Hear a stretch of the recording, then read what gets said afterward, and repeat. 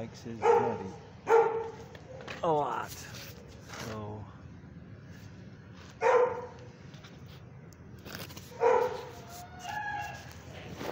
He's probably going to be sad with her gone. He's probably going to be nervous.